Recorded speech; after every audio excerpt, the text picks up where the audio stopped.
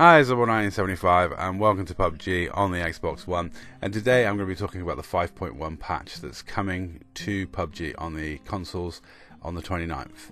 There's an awful lot of stuff going on with this thing, uh, so I'm not going to be able to cover all of it in this video. I'm going to link to the patch notes in the description down below and talk about some of it. Uh, they're going to be refreshing the Miramar map adding a racetrack, which is just hilarious with some ramps and jumps because math didn't kill me enough in a vehicle. Um, there's going to be a gold Mirado parked at uh, Hacienda. So after the fight at Hacienda, you can go to the garage and find someone who's popped all the tyres in an act of spite, or somebody snuck in there and stole it while you were all fighting. Uh, they're also spring cleaning the map. They're removing some of the smaller objects and trash in and around buildings to reduce clutter to make movement easier for looting and also during gunfights, which will please Woody immensely because he hates dying when he gets stuck on an object that he can't climb over. He's always said if you can't climb over it, it shouldn't be in the game. They're also adjusting the spawn rate on a lot of weapons. They're really giving a huge buff to sniper rifle spawn rate and also the spawn rate of scopes.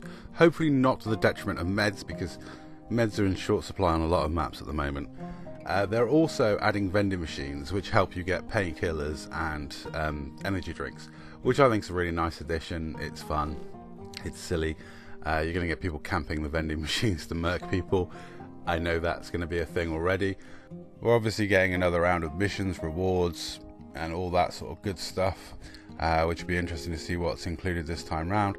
But the two big changes for me, the two that um, I'm really excited for or interested about, one is the Winchester has now got a scope incorporated in it. It's a 2.8 times scope, which is I've been asking for us to be able to put a two times scope on the Winchester. I thought it would make the gun more viable and useful. They've decided to go with a incorporated 2.8 times scope. They've also made the Winchester Miramar only.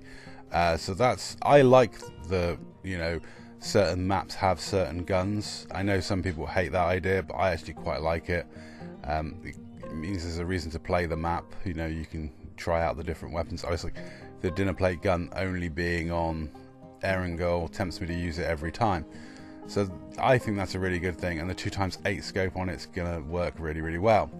The other thing they're adding is the ability to throw melee weapons. Now, this is an interesting thing. As someone who used to do it, being knifer combat axe guy in Call of Duty, that's really tempting to get into, but I hope they lower the damage slightly because it's going to make pistols absolutely redundant early game. People are just going to run around, start throwing stuff at people and uh, pistols are already pretty useless.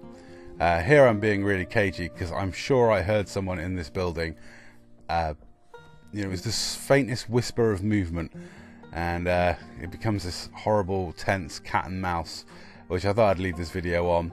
Uh, like I say, I've run out of time. That's all I can cover in this video. The link to the patch notes below. And that's all. Thank you very much for watching.